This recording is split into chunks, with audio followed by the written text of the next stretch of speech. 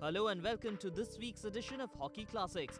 Germany take on Pakistan in the second match of the Samsung Champions Trophy 2007. The Germans will be eager to get back to their winning ways through this tournament after failing to live up to the expectations in the European Championship. On the other hand, Pakistan are trying to build a side and work its way back in the top. Captain Salman Akbar would be hoping that his new look team will turn the corner in the Champions Trophy. So let's join action in the match featuring Pakistan Youth Brigade and German experience. Players underway between Germany and Pakistan. Pakistan in their traditional green shirts, white shorts, attacking the goal to the left of screen. And I'll let you carry on with that now.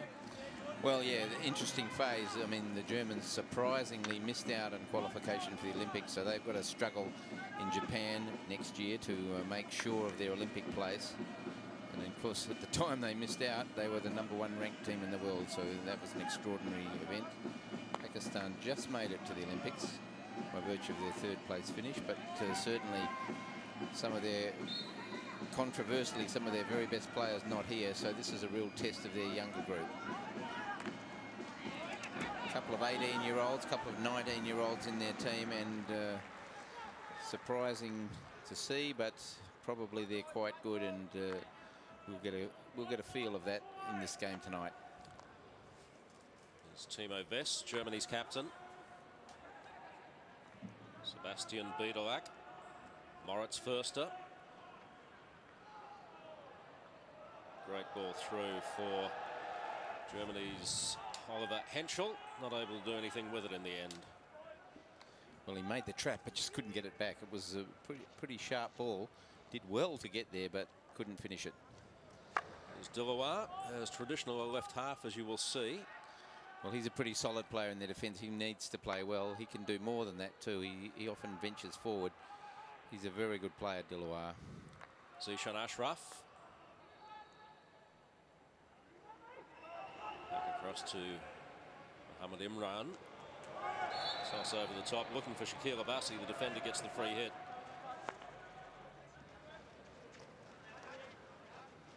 Fürste, surrounded by green shirts.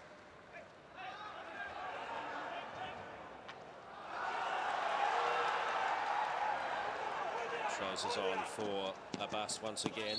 Puts the arm in fairly blatantly. Yes, no doubt about that. Bit too eager. Waqas actually got the ball and had a break. He probably could have gone himself, but he made the pass. His gun's far. He can penetrate.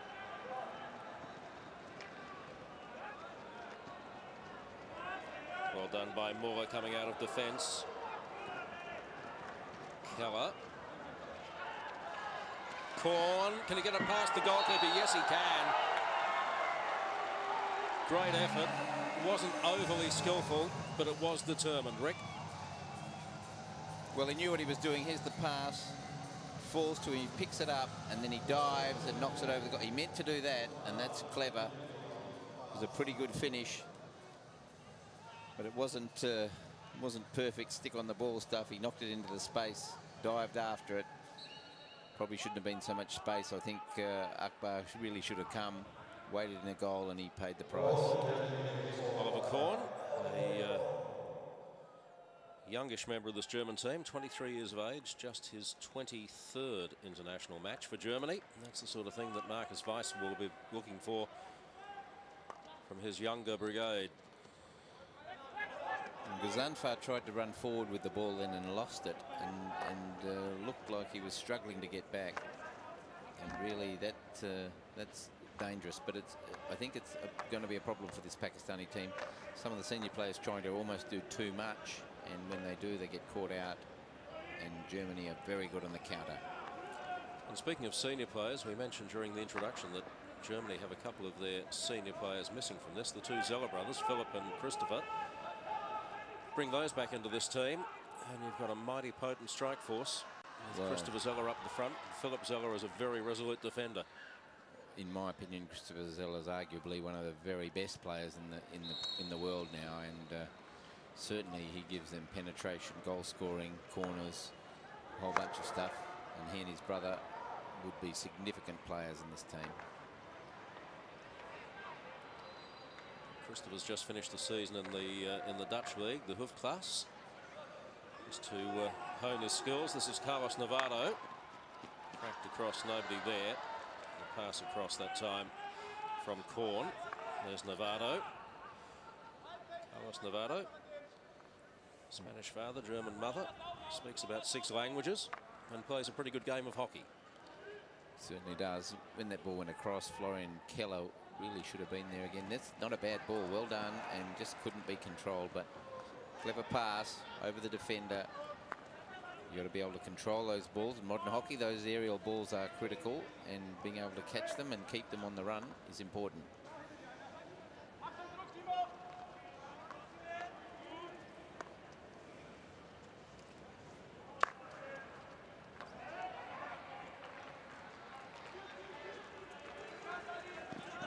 One-handed run Waqas. There's Marcus Weise, German coach. He'll be talking to his assistant in the stands. His assistant, an Australian, Andrew Meredith.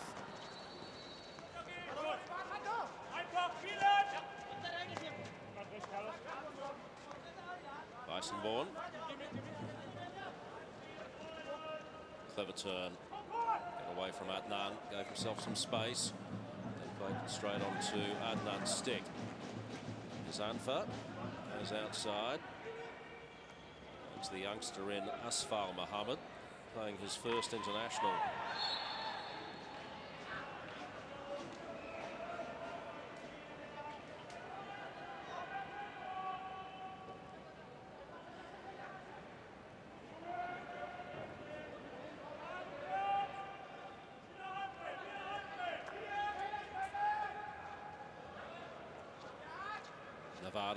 Of space. Beautifully finished. Fürste was on the end of it, but the man who set it up was Florian Keller. Beautifully done. Nevado, Keller, Fürste there to finish. Well, there's a little breakaway in the middle, and here it is. Lovely pass, well finished. Could have shot, but uh, he was clever enough to make the pass. It was a perfect pass, and that's the quality that you need to finish.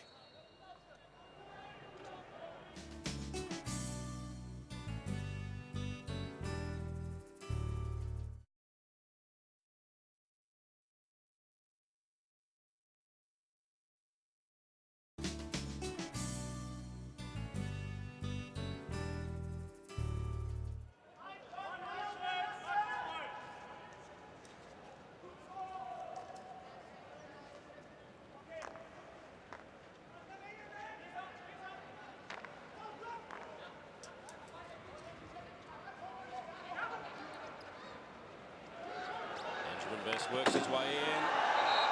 Finished off by Keller. They set one up and scored one a minute later.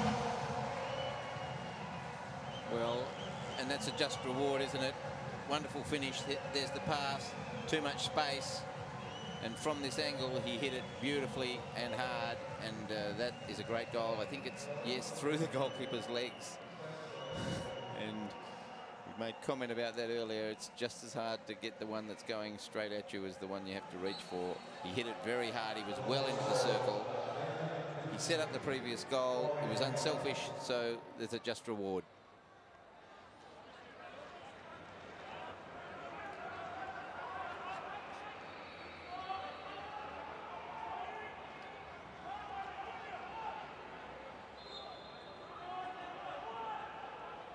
Twelve and a half minutes to go in the first half, and it is in danger of becoming a bit of a rout.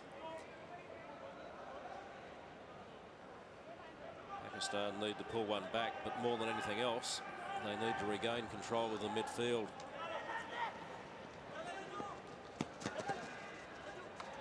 Well, they have some moments and they look dangerous and there's some nice stick work and a bit of penetration, but where's the shot at goal? Have we seen a shot at goal from Pakistan yet? I'm not sure. And uh, the hard bit in hockey is getting in there and finishing. They don't really have that quality. Tackled by Moore. Afzal went in a little hard. they often win the one-on-one, -on -one, the Pakistanis, but these days most teams tackle with numbers. They get numbers around you if you hold the ball for too long, and therefore, even though you beat one, you get tackled, lose it for the second one, and then there's a quick counter-attack. It's the counter-attack, counter-attacks from the middle that have been hurting Pakistan.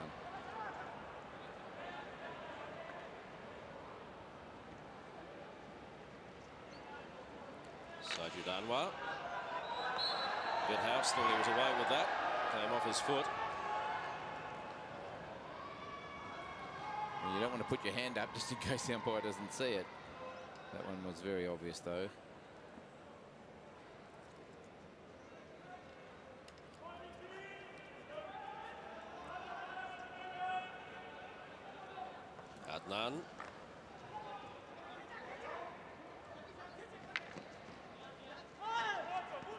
Sajid. This is Muhammad Imran up from fullback.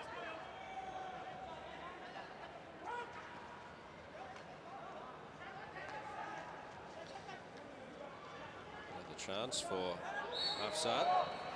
And there we saw an example, some nice stick work by Assad. He, he, he, turned them a couple of times, but in the end he didn't go anywhere because there were a number of Germans there and one of them eventually got him. Waqas stopped by Wess. Here's Witthaus. Pursued by Ghazanfar Ali. Lays it back to Hentschel, who wins the free hit. And that uh, centre from the Pakistanis is another example. They whacked the ball hard into the circle, but the German was just waiting to trap it. That pass has to be a pass to one of their players into the circle, not just a hit and hope.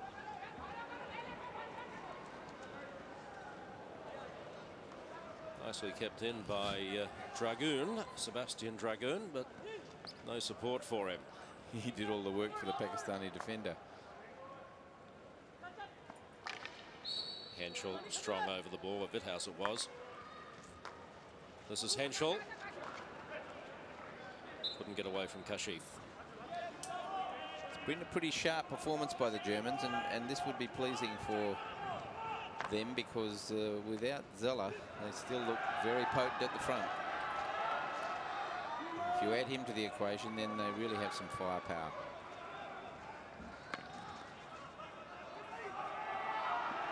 Shakeel Abbasi, he's very quick, he's a very good player, but he's all by himself most of the time. Some fairly persistent defending by uh, Weissenborn. Kept the pressure on. There's a stick check just outside the circle. It was a dangerous tactic that time by Tobias Halkett. Could easily have given away a penalty corner. Sajid. Found the deflection and the foot. Goal is scored. The umpire, Jed Curran, allowed the advantage and the man on the spot was Waqas. Waqas Sharif pulls one back for Pakistan. Well umpired. Well, there's the hit into the circle. Hit it. Looked like it hit a foot. I don't think it did. It was just play on. Ooh, might have even hit a Pakistani foot. And that's why the Germans weren't happy. But it looked like it had hit a foot. Pretty well done by the young player. He stayed on the ball. He didn't stop. It's a goal.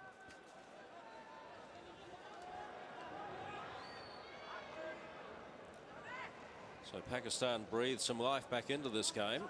Perhaps a little lucky in the circle. It's what you make of it.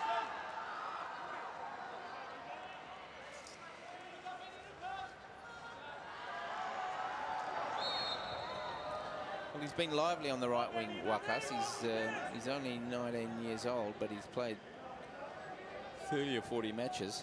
He's not Rehan Butt, of course, but uh, he is uh, he's lively. And he wanted the goal there, and he's got one. First up. Pushed out over the sideline by Kashif.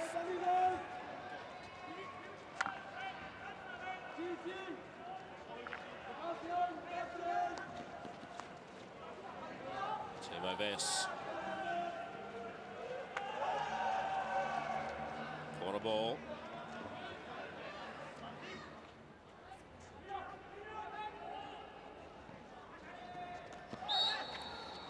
Be the defender's free hit. That ball thrown over the top is not dangerous of itself, but if an attacker closes in and doesn't give a defender a chance to play it, the umpire will give the free hit to the defender. And that was a that was a difficult one because the, the, defender was a fair way away. The attacker was had position early, but if the umpires are consistent, then the players will know what's going on, and uh, that's fine. Well controlled, Shabir. Akhtar back to Shabir. Tackled by Mullet. First. As Nevado making a move on his left, and that's a third man obstruction, not paid. Nevado bundled the defender off the ball. Well, that's a, stra a strange decision, isn't it? Yep. Oliver Korn scored the first goal. Weissenborn has been quiet for the last 10 minutes or so. Nicholas Minert.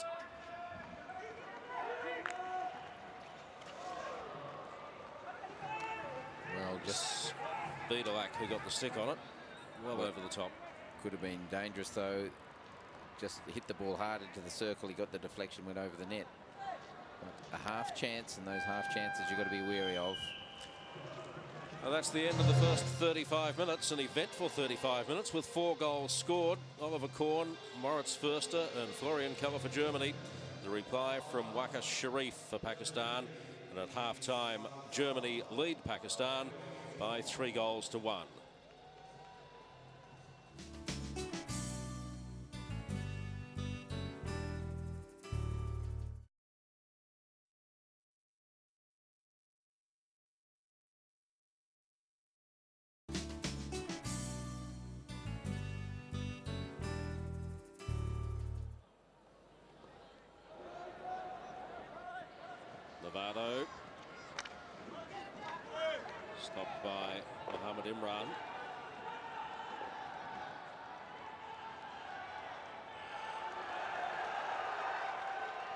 Chance for Pakistan. Shakil Waqas put away by Shabir, pounced on the loose ball. Well, the German defence was cut to ribbons once they got across the 23-metre line. Lovely play. This is the man who made it. That's the pass. Knocked across, hit the foot. Let the play on.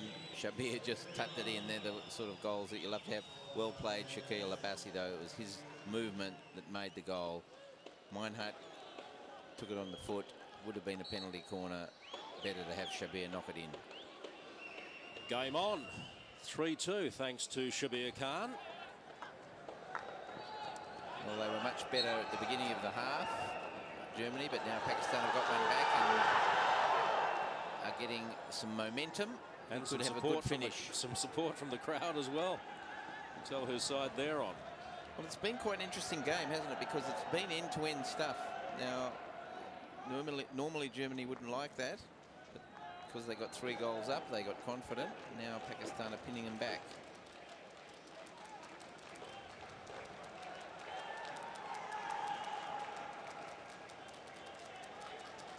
House. But as you rightly pointed out, David, the Pakistanis are working pretty hard at the front, and they're just pressuring enough to force some errors. Florian Keller, Benjamin Wess, Stopped by Zishan. Very good tackle. Kashif tidies up over the sideline.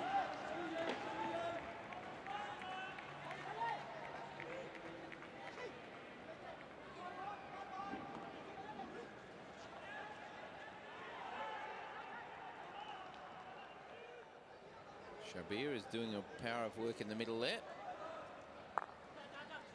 Good touch from Witthaus. Hentschel not quite ready for it.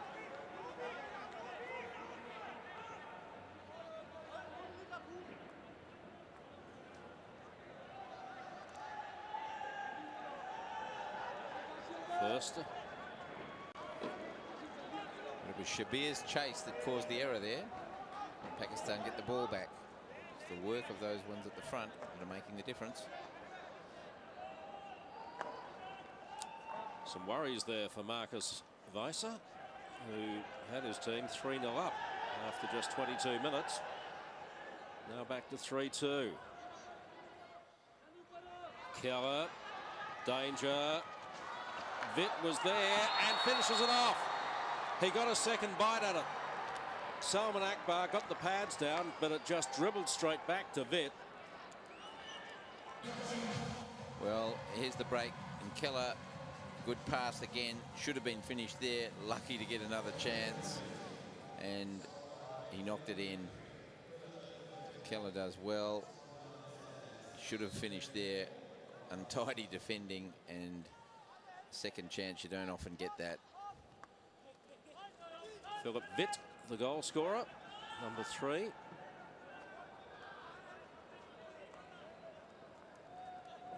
Germany lead by four goals to two after 51 minutes. A little bit of breathing space. Well, if you get four against you, it's damned hard to win, in Pakistan They've done some good things, but four against is the problem. Trouble again. Hentschel forces the corner. Hauke, Tobias Hauke. Not a good ball. Zishan, equally not good. Hauke gets another chance. Keller.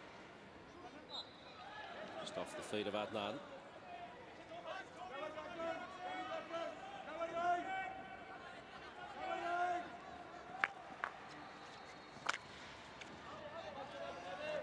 German ball again.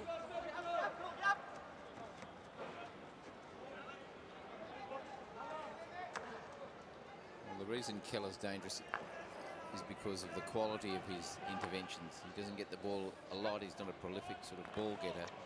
His finish is good. Vitt again, straight at the goal.